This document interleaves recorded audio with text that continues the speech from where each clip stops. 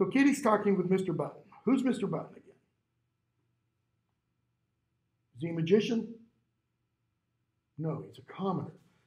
Remember early on, she um, she's delivering a book for the Hyrneks. She takes it to Mr. Button.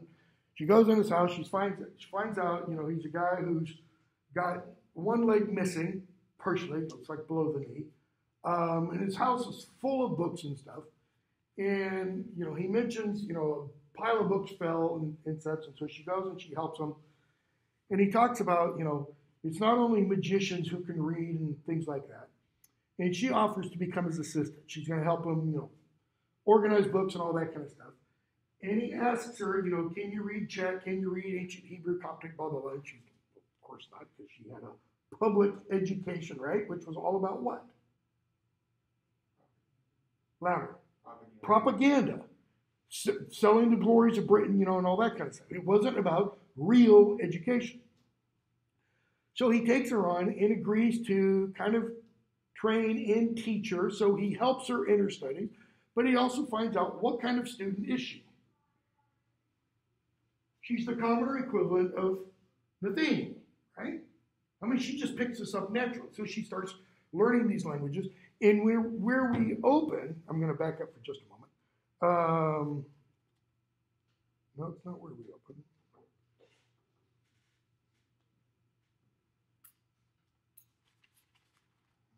I can't remember the chapter is, but we see her summon a demon, and the demon tries to trick her, etc. She doesn't fall for it. And that's that's how we're introduced to that part with Mr. Bat. So we know early at the outset of the novel, Kitty one is still in London. She's never left, even though the story was she was going to leave. Two, She's now learned magic, she's learned spells. And three, she's now able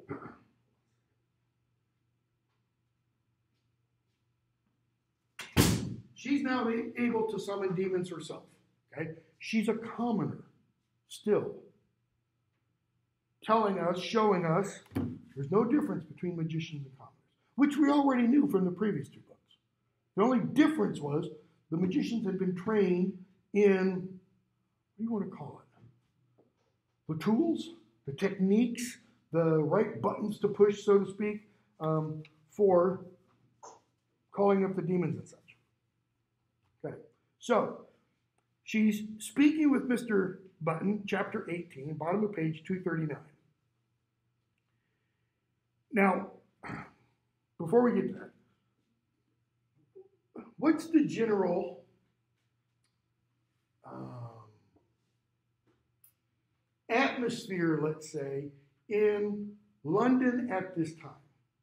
What, what's going on? How's, how are the wars going?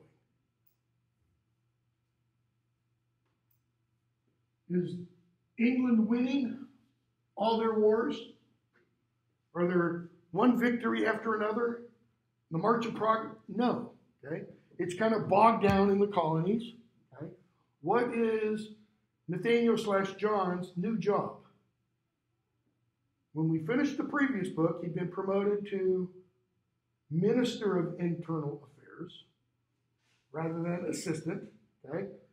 And we're told relatively early on in this, you know, a couple of years go by, and then he move, he takes kind of a lateral move and becomes minister of what department?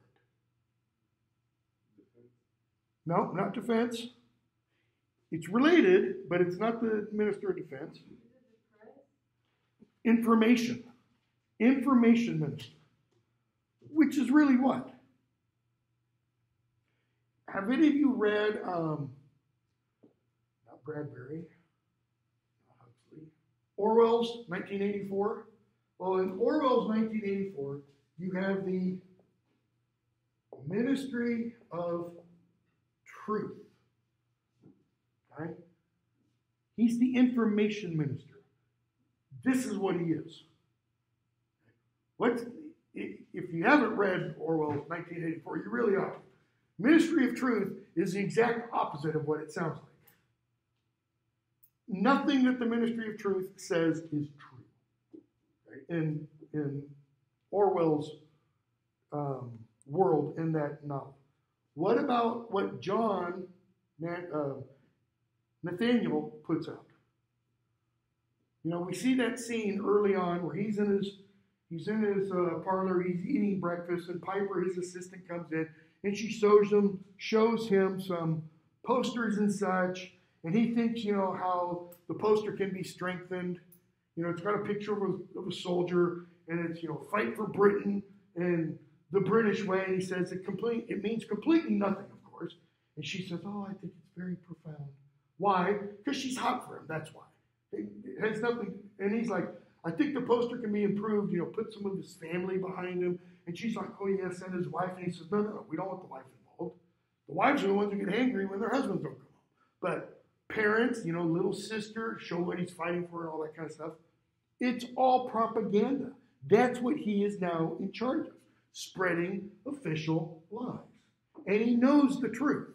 Okay? That's why it's important. That's why it's important that Stroud puts him in that position. He knows the truth, and he knows everything he's saying is a lie. Right?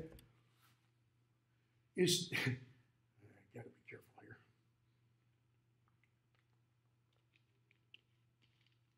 Is Stroud trying to make some kind of political point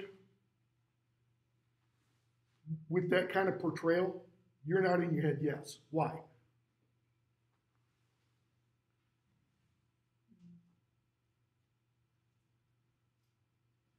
If you have a minister of information, what is the purpose of that ministry?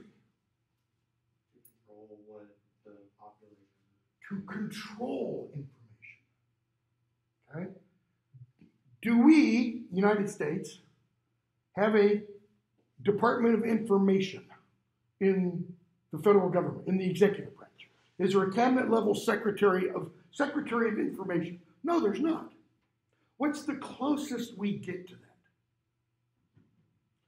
The press secretary. The president's press secretary, who every day, most presidencies, comes out and gives what? The daily briefing. What the president's been doing today, what the president thinks about XYZ. What does every presidential press secretary what must they be willing to do? Let me put it that way. Utter bold, bald faced lies about the issues of the day.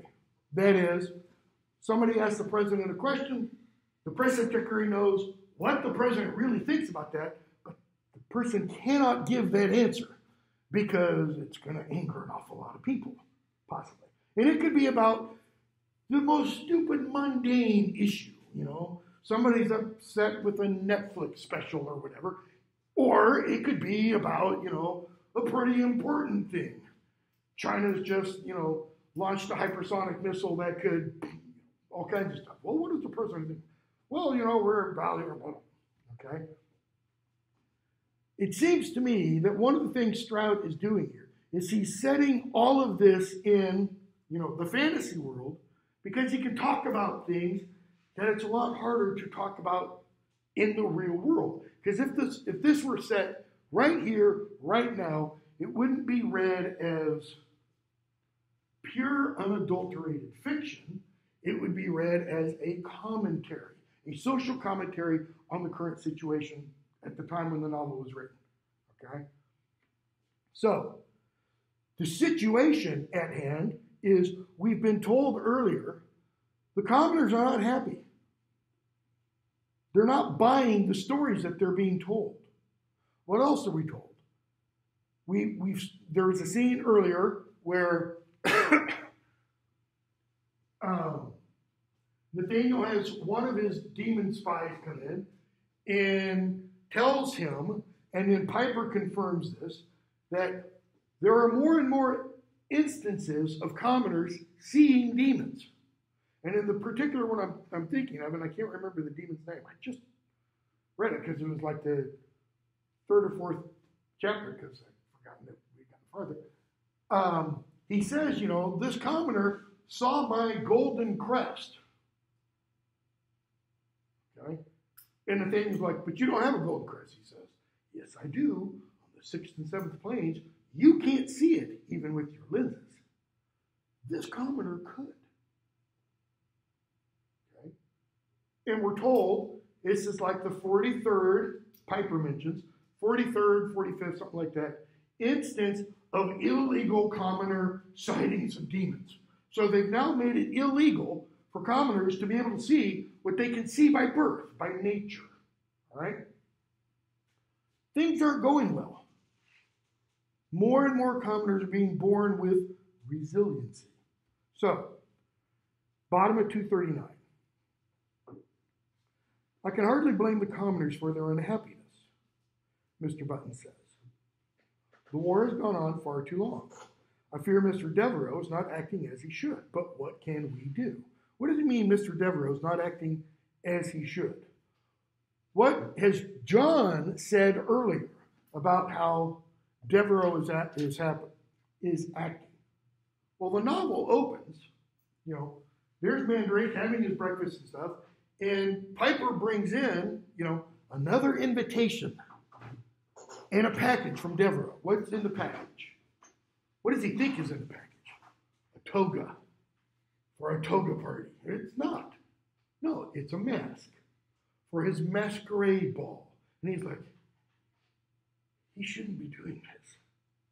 He also gets tickets for the latest Makepeace, you know, mishap, horrible play.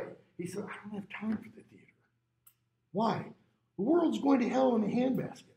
And he said, you know, and I've got to manage all this information. That's kind of what Button is getting at, that Devereaux is not acting as he should. He's not taking, boy, I have to be really careful. He's not taking the situation at the time seriously. What can we do? Even I, a magician myself, and am helpless. He's a commoner, but he's a magician. Power is concentrated with the council, is he? The rest of us must watch and hope for better times. Well, well, I can understand your distemper. If a friend of yours was killed, I'm sorry for your loss. Have another cake. Okay? So they talk back and forth, and she asks him, What is the other place? I mean, what's it like?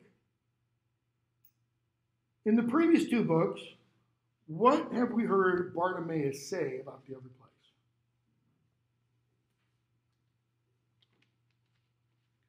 It's where he comes from, first of all.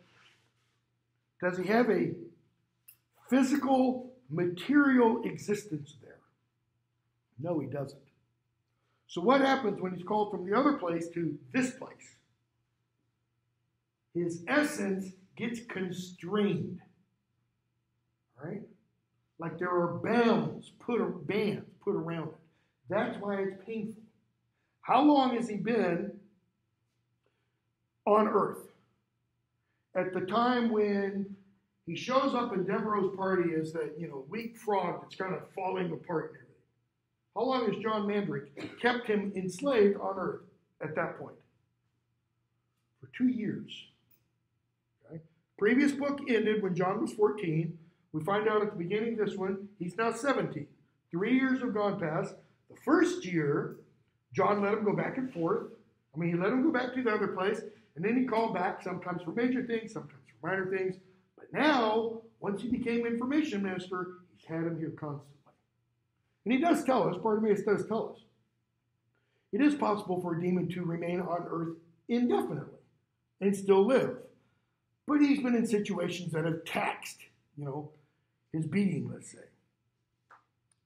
So, she asks, what's it, what is it? What's it like? A region of chaos, a world of endless abominations. This is top of 240. Dulac, if I remember rightly, called it a sump of madness. We cannot begin to imagine the horror of such a realm. It's enough to make a man want a third. So magicians have visited it. Notice her question is a very logical question. How could somebody say what something is if they've never experienced it? How do we know it's a region of madness? Unless you've been there and gone mad, you know. I mean, they'd have to have to have done, right? To know what it was like? Um, no, not exactly. In general, the authorities used reports from reliable slaves. Who were the reliable slaves? The demons. How reliable are the demons? You're shaking your head, they're not. Okay? Are they all unreliable? How is Bartimaeus as a narrator? Is he a reliable or unreliable narrator? Can we trust what Bartimaeus says to be true? Or does he just lie through his teeth all the time? What does John think? Notice I call him John, not Nathaniel. What does John think? He thinks Bartimaeus is an untrustworthy demon, right? And yet, I don't want to give away anything at the end. Have any of you finished this? One, okay. Um, and yet, up to this point, on the really big things, does Bartimaeus lie? No. He's honest. Okay? So, he says to venture there in person is another matter. It risks both body and soul. So it hasn't been done. Oh, it's been tried. Ficino, for example, he hoped to gain demonic power and said he lost his mind. Literally. It did not come back. He went, tried to go to the other place, and his mind is, what Button is saying, is still there. His body's here. No, the details are too revolting. Go on. She, she's like, tell me more. Certainly not. Eh, there has been a smattering of others, but all were left insane or worse. The only magician who claimed to have succeeded in the journey was Ptolemaeus. He left details in his Apocrypha, I want to say is the book that Kitty delivered to him. I may be wrong here. It may just be he mentioned the book in that section, but they are of dubious value. In effect, he implies that the procedure can only be achieved with the help of a benign demon, whose name is invoked to create the gate. Palpably, the notion is ridiculous. Who would seriously trust a demon with?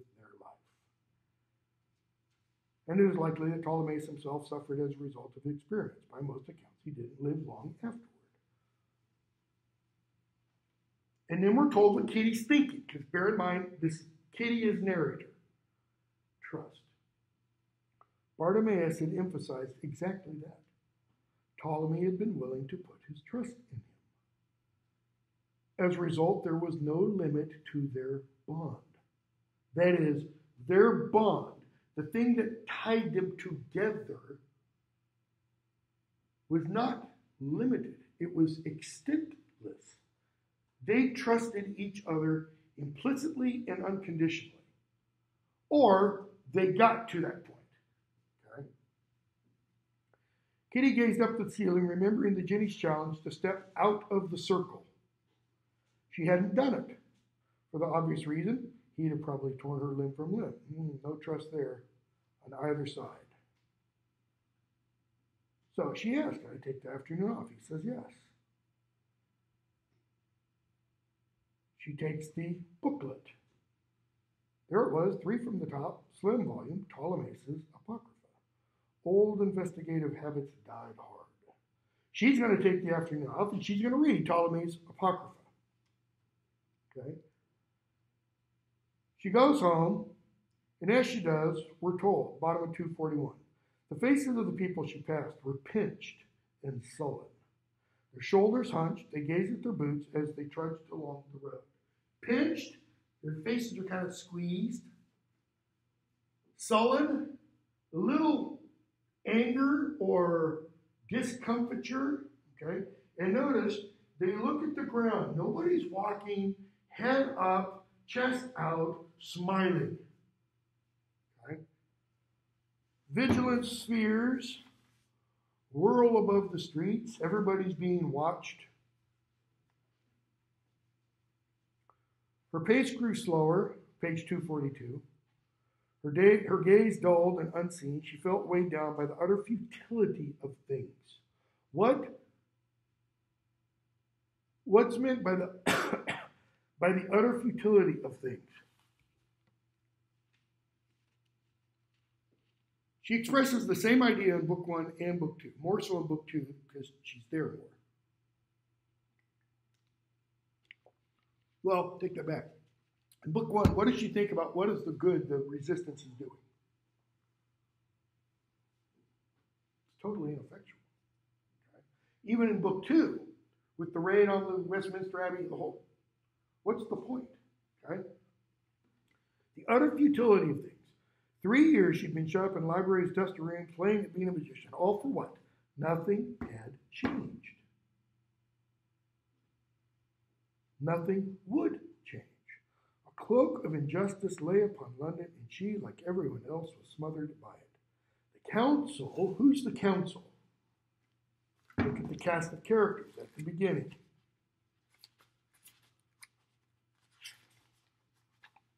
Council is essentially Rupert Devereaux, Carl Mortensen, Helen Malbindi, Jessica Whitwell, Bruce Collins, John Mandrake, Jane Farrar. Yeah, maybe you could throw in Quentin Makepeace because he's, you know, like inseparable from Devereaux and such. Okay, they're the, like the, they're like you know the president's National Security Council, the president, Secretary of State, Secretary of Defense, National Security Advisor, etc. The council did what they pleased, oblivious to the suffering they caused she was unable to do anything about it. All true. Okay? But she says, or she thinks, nothing had changed, nothing would change. But between the second book and this book, what has changed?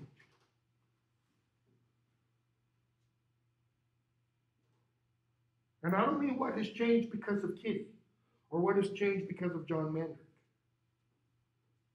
What is happening more and more? See, in the first book, how many commoners did we know of who had resilience? Kitty, Stanley, and Fred. Okay? In the second book, that gets bumped up to a total of 11 members in the resistance. And they each have a different kind of resilience, right? Now, seemingly, there are hundreds. Okay? And many of them are under the age of 18. People are being born more and more and more with this. So when she thinks nothing would change, what adverb should be added? What, what's Kitty really, you know, the progressives in Congress, the, the proverbial squad, what do they want to happen now? The, the AOC and, and her crowd. What do they want to happen now? Radical, massive change, right? Not ploddingly, you know, chipping away and making things change over time. They want it to happen tomorrow. That's what Kitty's thinking. It needs to happen now. But it is happening. It's just happening over time. She wants to accelerate that time. Okay? So she goes to, to the frog, the place where she works, and Mandrake shows up.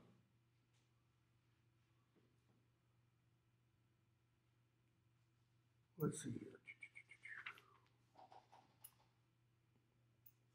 Page 246. She goes out with him. And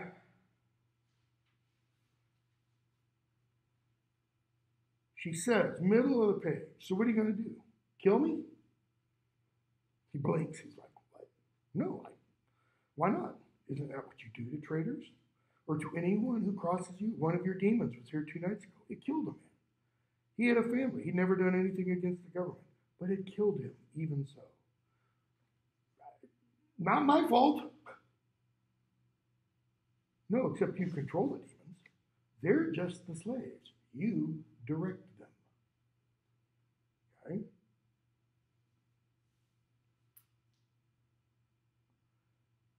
I mean, it wasn't me personally. I mean, yes, that is what magicians do, but I didn't send this guy. That's not my department. Notice what he's trying to do. He's trying to, oh, what's the phrase? Compartmentalize. I work for a different branch of the government. I don't work for the branch of the government that violates all your non-existent rights, you know. I work for the other branch. She says, sorry, it's just the most lamentable excuse I've ever heard. Not my department? Ooh, that makes it all right then. I suppose the war isn't your department either? Or the night police? Or the prisons in the tower? None of those have anything to do with you. No, no, because you're the minister of information. That's right. He says, no. Now, can you shut up? Okay, and, you know, they go back and forth. And they talk about the resistance, and she says, We were fighting for ideals. Ideals. What's at the root of that? Ideas. That is, certain things, certain truths. He says, Well, so am I. I admit to being discourteous in the present instance. He waves a hand, shadow falls. He says, So the demon's gone. He says, Now you can talk without fear. I wasn't afraid. What normally happens next when you arrest someone? Spot of torture, the beating. What's it going to be? Why is John there? I mean, he hasn't said why she why he's there. I've not arrested you. You're you're not being arrested. I just want to talk. Then I'm free to go. I am here as a private individual, not as a member of the government. Really? Can a quote unquote cabinet level secretary ever speak to somebody else as a non cabinet? No, you can't really divorce that aspect, especially in this world. So if you don't stop your histrionics, that may change. Officially, you are dead. That is, nobody else knows. Yesterday, I received word that you were alive. I wanted confirmation. Okay? Who told you I was here? Demon? Was it not important? Nick Drew. Who's Nick Drew? He's the only other member of the resistance that escaped the raid on Westminster Abbey. Okay? She accuses him of murder, essentially. He says, I'm a minister, not a murderer. I help protect our people against, against terrorists like you and your friends.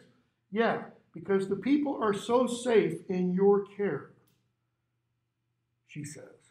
Half our young men are dying in America, and we've got the police mauling others in the street, demons attacking anyone who protests, and enemies and spies at large in our suburbs. We're all having a great time. Okay? And again, it's really hard to, to not go where I'd really like to go. What she's saying, what is the purpose of government? Me put it that way. Think, think you know, American founding. What was one of the things Jefferson said in the Declaration of Independence about a government's right to govern? Depends on what? It must have what for it to be a lawful government?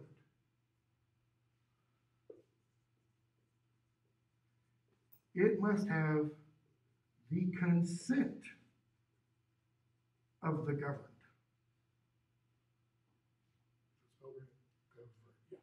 It must have the consent of those who are being governed. And if it doesn't have that consent, then Jefferson said, it is an unlawful government. And what must the governed do? The People who love Thomas Jefferson, they often don't talk about this. That's why he said, every generation, there ought to be a revolution. Because every generation needs to rise up and make sure the government still has its, the people's, consent. What's her point? You don't have our consent. Look at again what she says. Have who's the our young men? Who are fighting in America in this book? Commoners, not magicians. Where did most of the troops, for example, who died in Iraq, Afghanistan, you can go back to Desert Shield in 1991, you can go back to Vietnam. Where did most of those troops, the real vast majority, what level of society, our society, did they come from? Did they come from the upper crust, the 1, 2, 5, 10%? Did they come from the political class's children? No. They came from the middle and lower class. Okay? That's why when you do have you know, a member of Congress who is an active member of the military or is a military in reserve, you know, member of the military but on reserve, Tulsi Gabbard, for example. Um, that's why, you know, that kind of individual stands out because they're not like the rest of their compatriots, so to speak. Right? If it wasn't for us, it would be much, much worse. We use our power to rule for the good of all. That's the problem. The commoners need guidance. Eh, we're going through a ropey patch. You know, inflation rising, supply lines. That's where I said I should go places where I shouldn't. That's the ropey patch, he said. We're, we're having a, a tough time right now. Your power is based on slavery. How can it be for anyone's good? Notice anyone is italicized. Why? I mean, that's Stroud's choice. That's not the publisher just deciding to throw in some italics to change up the reading. What's he emphasizing there? Who's not included in anyone?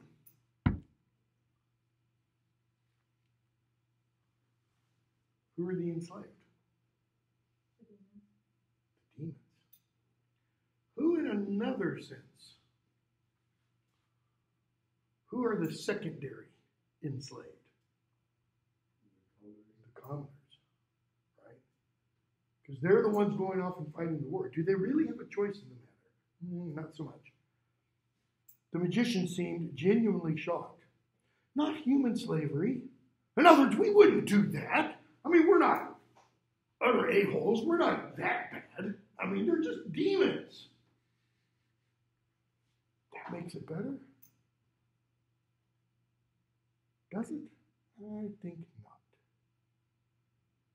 Notice what Kitty's just done, especially in John Mandrake's eyes.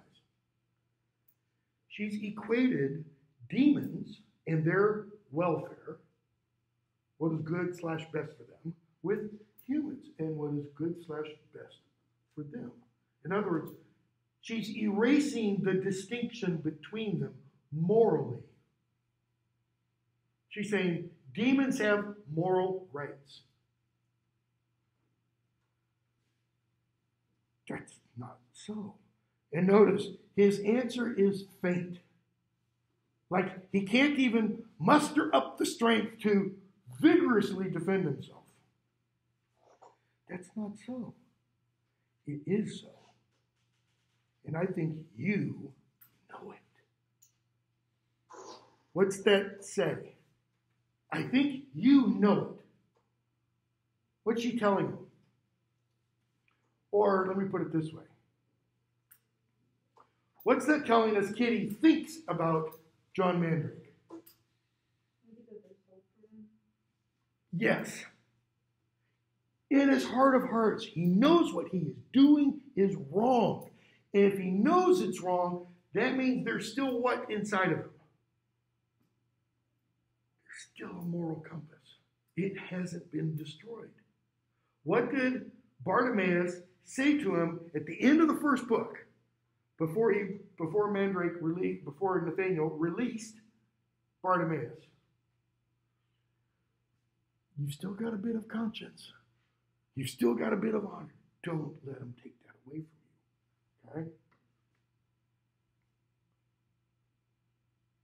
What do you want? Why are you here?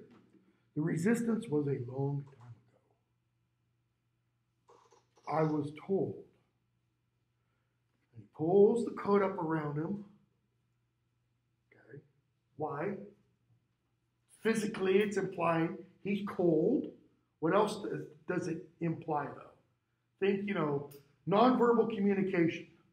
He's pulling that coat up around him. He's like this. He's wrapping himself up in his defensive shield. Okay? I was told you saved me from the golem. That you risked your life to save mine. Mine. I was also told you died doing it. Now that I find you alive, I'm naturally curious as to the truth. Okay, I'm curious to what truth? Because the obvious truth is standing right in front of him, right? She didn't die, he saved him. So the truth is, he was lied to that she died trying to save. So what's the truth he's after? Did you really save me? Because that then begs the question, why? Which also begs the question, both of those together, why did he lie to me to protect you?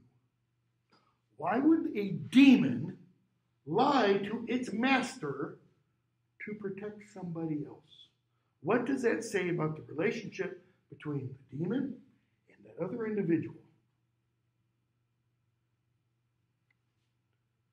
Has Mandrake so far asked seriously of Bartimaeus, why do you dress like that when he takes the form of Ptolemy?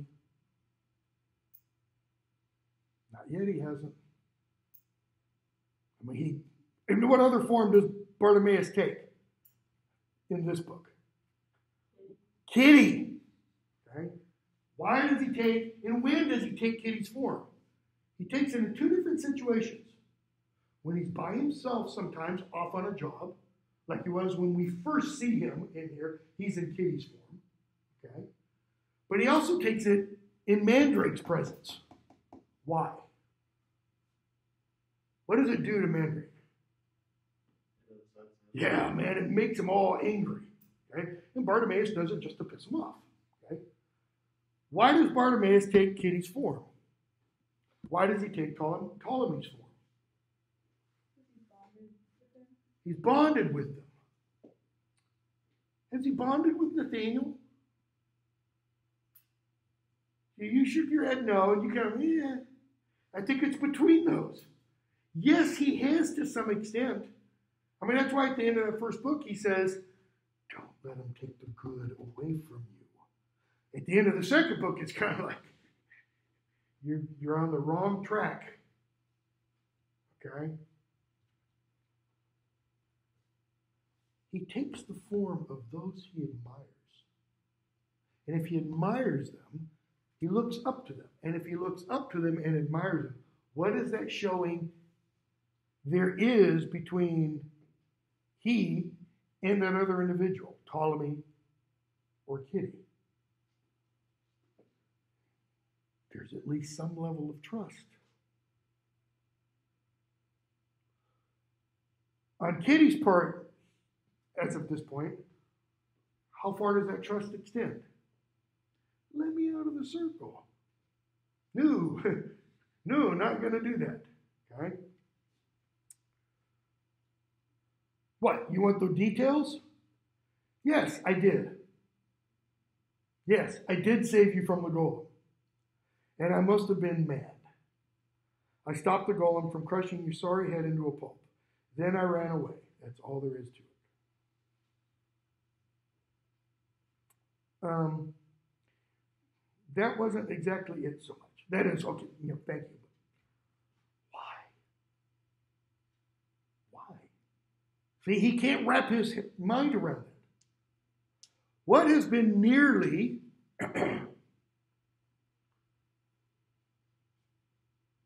destroyed in him by this point in the book? That he showed a lot of, especially in book one. Why did he go after Lovelace? I don't mean the amulet of Samarkand. I mean after, you know, that? Was it merely for personal revenge? Who was he thinking about when he was getting ready to go to, you know, Amanda Cathcart's party and all that kind of stuff? What did, how did Bartimaeus needle him? Who did he refer to? Multiple times. Martha Underwood. He kept appealing to John's, excuse me, Nathaniel's what? Sense of honor, loyalty. Those virtues that Mr. Purcell, the history teacher, said, you know, all magicians have, but that Lovelace said was what? a bunch of nonsense. Purcell bought and taught the propaganda. Lovelace showed him the truth. He had a lot of those qualities in the first book. We start to see those subside a bit in the second book, and they're still kind of they're there, but they've been buried. Right? I don't know. I really don't know.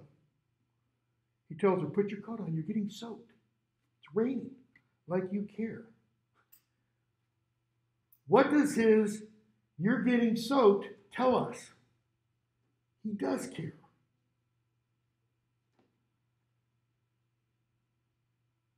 Well, whatever reasons might have been, might have been, I suppose I need to, and she doesn't let him say it. Don't. I don't want to hear it. Not from you. Why not? It's almost the same kind of reason Frodo says in The Lord of the Rings at the beginning of the novel I don't want to see Gollum. He's just an enemy, he deserves death, kind of thing. Gandalf says, you know, once you see him, or replies, once you see him, you will feel pity for him. She can't accept for John to say, what two words? Thank you. Why? Because then she kind of gets indebted to that. Okay? He frowned, but he, he's trying to get the words out. I did it without thinking. And if you want to know the truth, I've regretted it ever since. Whenever I've seen your hideous lying leaflets on the streets or past those stages where your actors do your lying for you. Notice, by the way, what she's saying about those stages and those actors. They're all what? They're in the work of the government. It's all, the propaganda isn't only from the government, it's from the government to those quarters of power that determine kind of the national consciousness. Well, what does that include? Obviously, it includes schools, because that's where the propaganda is spread. It includes culture, it the stages and such. In our world, stages, theaters, movies, TV, internet, you know, that at least that's, you know, mainstream, so to speak. So don't thank me, Mr. Mandrake. if you must thank someone, and then she kind of puts down her ace of spades, make it Bartimaeus. He's the one who prompted me to save your life. And even in the dark, she could see it startled him. He prompted you? I find that hard to credit. Why? Because he's a demon? See, she cuts him to the core right there. You find it hard to believe because he's a demon. Yeah, I know, doesn't make much sense. But he told me how to stop the golem. He called me back when I would have run. Without him, you'd be dead. Don't let that bother you. He's just a slave. So, what does she just put into his mind? What has she just created for him? About? The nature of humans. Keep going. About like them only being evil and lying. Yeah, and about the nature, doubt about the nature of the human demon relationship. Right? As to what it could only be. From the magician's perspective, it's only, I command you do what I command. Okay? What did his, what did his master Underwood teach him was the mark of a bad magician? What one word? Incompetence. Incompetence. Trusting a, trusting a demon would be the highest mark of incompetence, according to Underwood. Okay? I've been meaning to ask you about Bartimaeus. He regards you with affection. Why? What does Nathaniel seem to be blind to at that point when he asks that question? How does he respond to Jane Farrar when she says, torture the information out of him? So, no, he's a valuable demon. I mean, he's done a lot of good for me. I, have got to send him out to recharge his batteries. In other words, he gives the kind of pro forma expected response. What doesn't he really say? He kind of likes Bartimaeus. Bartimaeus kind of, you know, think of Fflewddur. Bartimaeus is what to Nathaniel? As what is to Fflewddur? What keeps Fflewddur, what keeps Fflewddur, Fflam, more or less honest? Bing! Bartimaeus is like the string in the harp that, you know, breaks and makes Fflewddur go, okay, okay, okay. So I embellish that a little bit. Okay? He keeps John somewhat honest. He serves, in a sense, as his alter ego or as his conscience. Or another way of putting it, think of those old Warner Brothers cartoons, you know, like Bugs Bunny and stuff. And you have one where you have a good demon, uh, you have a good angel and a bad demon. And one sits on the right shoulder and one sits on the left shoulder. Bartimaeus is actually kind of acting like what? Both. I mean, yeah, he likes to get his goat a lot. He likes to, you know, really rile him up. But other times, he's like, John, John, John, come on. This is not you. There is no affection between us, Kitty says. No? Why did he tell me you were dead? He said the golem killed you. That is why I have not searched for you. He said that. Notice, surprise, she hit him with a zinger. He hits her back with a zinger. She's not aware of this connection. Okay? So now what are, what are these two magicians, one of whom is also a commoner, revealed to us? We have, you know, a menage a trois of sorts. Who's at the center? Bartimaeus, Kitty, Nathaniel. But he's the one that links the two of them. Because he's shown concern for both of them. He tells Kitty how to save Nathaniel. He tells Nathaniel Kitty's dead, which is his way of how to save Kitty.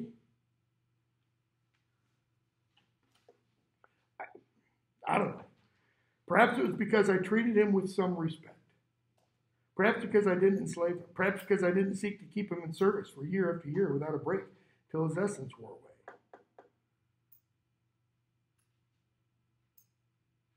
And he's like, well, how do you know about that?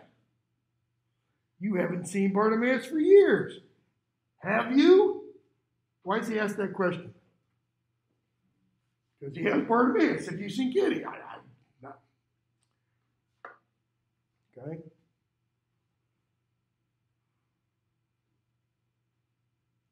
So, Orb shows up, announces to John that Quentin Makepeace wants him there for the theater, and he says, you know, take your friend too. And she's like, John's like, we'll have to suffer together. Okay? Um, let's see.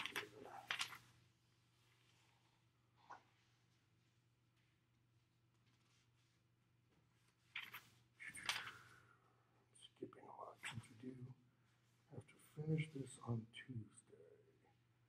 Um,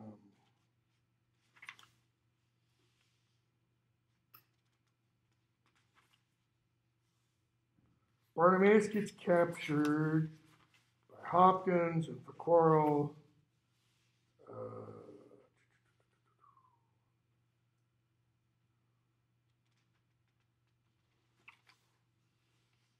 and he escapes. I don't think I need to discuss any of that. Got marked up, but. Okay,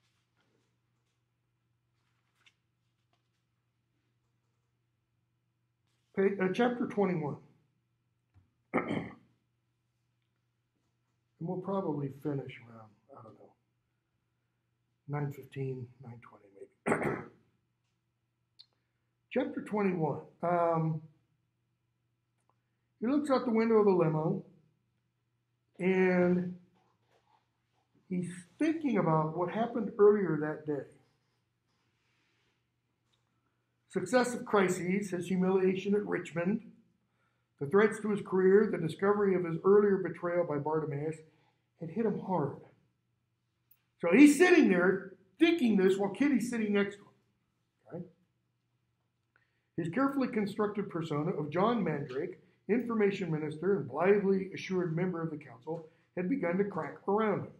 But it had been his rejection by Mrs. Lutyens that morning that had dealt the decisive blow.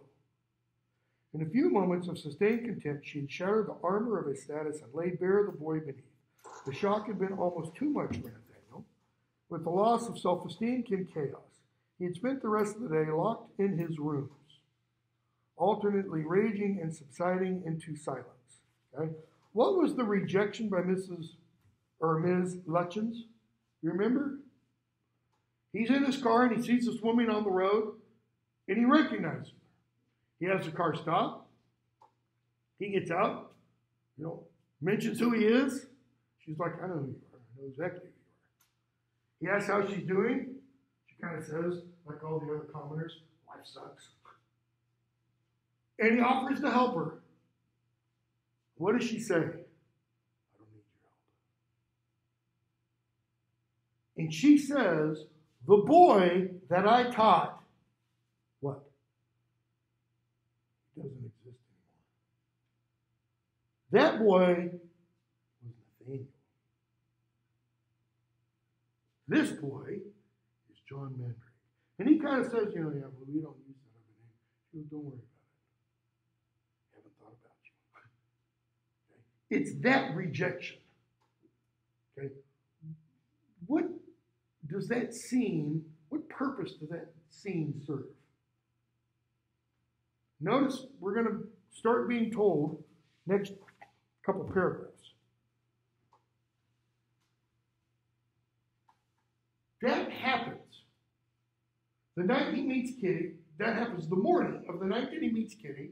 He finds out, you know, it's true, Kitty did save his life, and that Bartimaeus put her up to it. We, we get the description of, you know, the facade that he created about John Mandrake starts to crumble. Well, it's a facade? It's a false covering. It's like the outside of this building. Okay? Or, or, or think of, you know, pictures of castles in movies where the castle has a nice shiny white wall and everything. That's the covering. If you go to an ancient castle in England today, you'll see the big blocks. Well, you didn't see those blocks when those castles were finished construction because they had mortar entirely covering them. Right? That's the facade. It gets pulled off.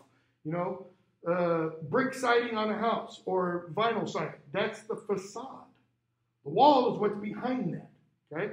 So he's created this facade of John Mandrake, young man about town, you know, member of the council, 17 years old, ultra powerful, blah, blah, blah. And we're told it's all cracking. The only reason facades crack because they're false. They're poorly made, poorly constructed. So when she you know, cuts him to the quick with her comments. It's almost like she's hit the pilot light inside him. And the pilot light lights up the real person, Nathaniel. It causes that identity kind of rebloom, reblossom. And he no longer wished to play that part. Go back for a second. Page 282. Um, he's thinking about the trial that's coming up. He's drowning in self pity. Bartimaeus, uh, bottom of 281, delayed report had given him a lifeline. News of Hopkins' whereabouts offered Nathaniel a final chance, you know, before the next day's trial. Such success was not guaranteed, but he was confident in the power of the djinn he had sent to the hotel. He'd already felt revived by the mere act of sending them. Right? That was how it often had been. Before politics and the stultifying role of John Mandrake had closed in on him, he no longer wished to play that part. Notice the language that's being used. Life as what? A stage. Shakespeare talks about this in the play As You Like It, with the character, you know, either Jaques or Amiens talks about, you know, life's a stage and everyone has their part to play. And there are seven ages, seven, you know, stages in the life of man, etc. So John's telling us, or Nathaniel's telling us, thinking, he doesn't want to play this part anymore. He's done with it. True, if fate were kind, he would first ensure his political survival. But he had long been tired of the other ministers and sickened by their moral corruption, by their self preserving greed. Now, you could say, okay, this is a little bit of self righteousness, a little bit of high mindedness about himself. It had taken until today, with the disdain in the eyes of Miss Lutyens and of Kitty Jones, to recognize the sickness in himself. In other words, Miss Lutyens and Kitty served as whats to John. Notice to John. Mirrors. Their disdain for him was like him looking in a mirror. And what did he see? Kind of like an interchange. John Mandrake, John Mandrake, which is real. Nathaniel's the real one. John Mandrake's the false identity.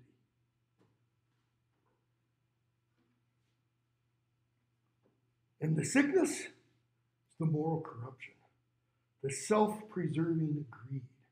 The greed there isn't for wealth, it's for self preservation at all costs. That is, everybody else be damned. Well, he would not sink back into the routines of the council. He would not be like all those others. Unbeknownst to him, what is about to happen? The climate. I mean, everything, the whole thing's about to go kablooey. Okay? Which is good that he's making this decision at this point. Decisive action was needed to save the country from their mismanagement. He peered through the window at the smudged outlines What's meant by decisive action? What's John been wanting to do since the second book? Get his hands on Gladstone's staff. He tried it at the end of the previous book, right? He's got the staff, he's trying to work out the spells, and it knocks him out. golem nearly kills him, Kitty rescues him, oh nine yards. He peered through the window at the smudged outlines of people on the streets. The commoners needed to be led. They needed a new leader. He's 17. Someone who could impose a little peace and security. He thought of the staff of Gladstone lying redundant in the vaults of Whitehall. What does redundant mean there?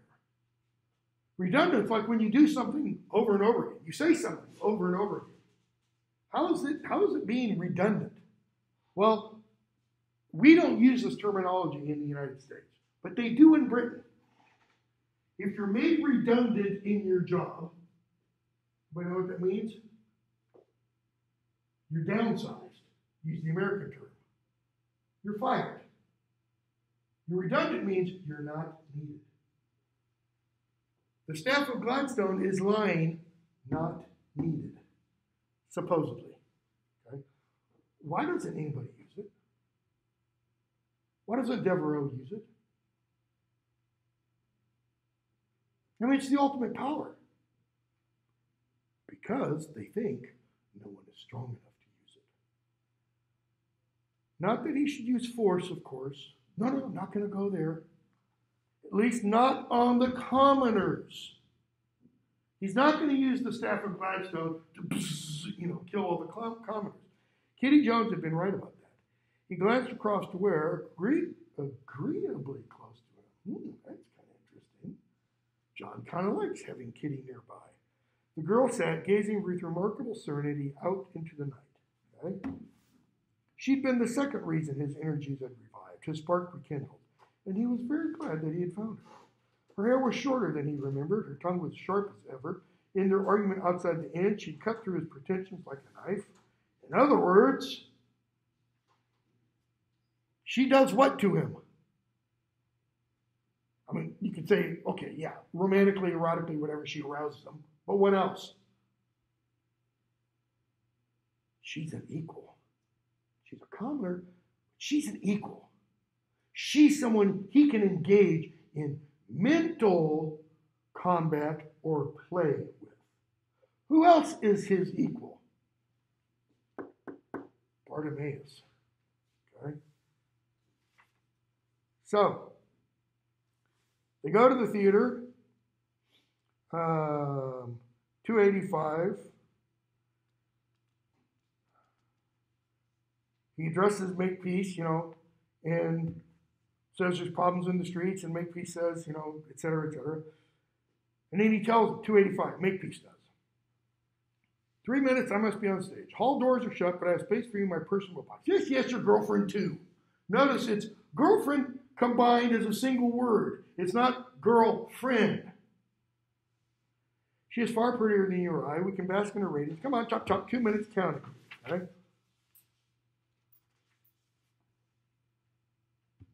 John, page 286, exact middle of the page, leans over to Kitty as the play is about to begin. Yeah. And he says to her, What?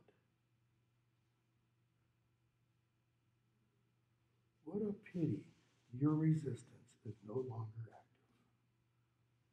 A well directed bomb here would decapitate the government. Now, does he mean, oh, you guys only still around, could kill it right now? That's one we read it. Or is he kind of suggesting or kind of just saying something more like, you know, if you guys were organized, this would be your opportunity right here. Whereas one is more objective and one is more,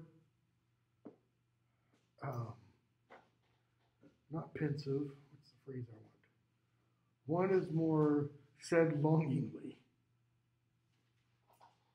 Well, what literally in the next few minutes is about to happen, unbeknownst to John at this point? that. But it's not going to be the resistance. Okay? So, uh, takes his lenses out like he's told to, 289, he puts them back in. And what does he see?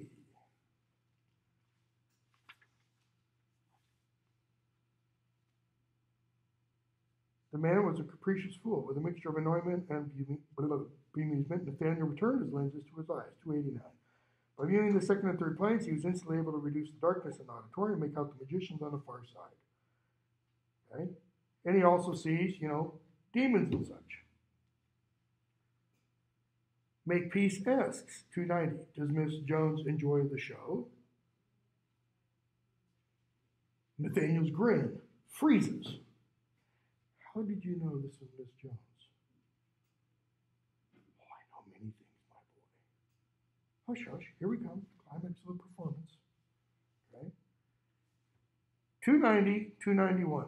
Um, what did Makepeace mean at the very bottom of 290? That is, what did he mean by what? I think it's, I know many things. Okay? Nathaniel looks and sees again, got his lenses on. In the darkest shadows, he could just make out three exit doors leading to the lobby, and through these doors came creeping a multitude of tiny demons. They held loops of rope and cloth. Their owners hopped and sprang, skittered and dodged. The leaders leaped into the seats without delay, fell upon the person sitting there. Two or three imps to each. Okay? Rags stuffed in mouths, hands bound. So sudden was the onslaught, skipping down about three quarters of the way down. Most of the audience was secured without a noise. Nathaniel Wars, he sees it all. Okay? Who else can see this without lenses? Kitty can, right? She saw the Mauler when John tried to attack her with it back in her parents' apartment. He made his spring to his feet, cold steel pressed against his neck. Makepeace. Do nothing foolish, my boy. You observe my finest hour. Is this not art of the highest order? Art, artifice. What does artifice mean? What does artificial mean? Constructed by us. What is he constructing? What is he designing and making? His own real play. And I mean real, he's directing the actors in his own drama. Okay? Well, what are we going to find out very shortly? How does Quentin Makepeace come off in the first two books? What kind of person, what kind of character, what kind of personality? If you were to read about him in the newspaper, what would you think about him?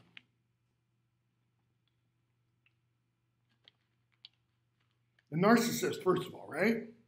Everything's about him. What else? What are most narcissists? That's all they're concerned about. And so they come across as kind of like bumbling fools because they don't see the bigger picture of anything. What has he done? John used the language earlier, excuse me, Nathaniel used the language earlier about John Mandrake. He's created the facade. It's a character that he's made of the narcissistic playwright who has to have people praise his plays to stroke his ego. Okay? it's not who he really is. Um,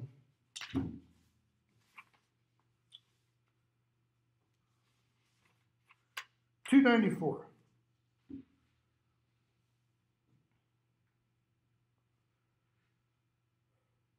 Got the knife still pressed against his throat. And Makepeace gets up with agonizing caution right in the middle. Nathaniel turned his head a fraction. His eyes met Kitty's. Lacking lenses, the girl had only become aware of the activity at the very end. She doesn't see it all.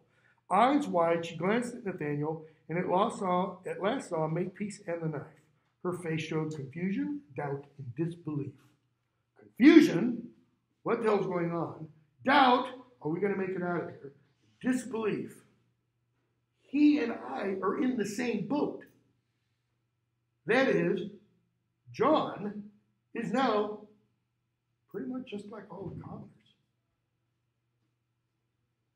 Nathaniel held her gaze. His mouth worked frantically, uttering silent pleas. His eyebrows attempted complicated supplications. It's like he's trying to mouth words and indicate meaning with moving his eyebrows. If the knife could just be knocked away, just for an instant, he might leap on Makepeace, tear it from his grip. Quick! If she could only act now, while the madman was distracted. What's being suggested there? He could do what? Save her. If he could only distract, Makepeace long enough. Kitty looked across at Makepeace, then at Nathaniel. Her brow furrowed, sweat ground ran down the side of her face. We're going to finish with this. It was no good. She wasn't going to help them. This is Nathaniel's chapter, so this is him thinking. Why should she? She held him in contempt. Then Nathaniel saw Kitty give the slightest of nods.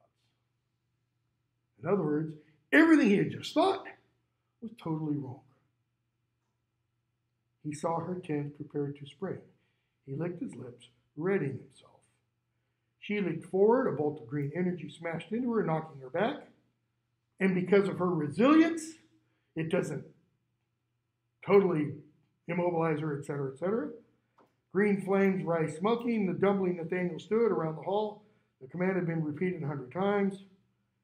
Nathaniel says, You've brought ruin upon us all. Hardly, John. We stand at the dawn of a new age. Ow. Curtain has come down, and I must attend to the logistics. And a tall figure in a black coat shows up. The mercenary. The guy who shows up from the first book who has the seven league, seven league boots, not something he's created, by the way, Stroud. That's a uh, folktale motif. Boots that you put on, they enable you to cover great distances in short amount of time. No doubt you will have much to discuss. They will not demean you, John, by uttering petty threats, but I do have one word of advice. Do not choose to die like poor young Kitty there. In other words, she's dead. She just doesn't know it. I still have much to show you. And he disappears. Okay, we will do as much of part four as we can on Tuesday. Um, I haven't done it yet. I'll put up a quiz. I'll put up a quiz for everything to this point. Later on today, that'll be due Sunday. And again, I apologize for all the confusion and waste of time at the beginning of class. This is not my semester.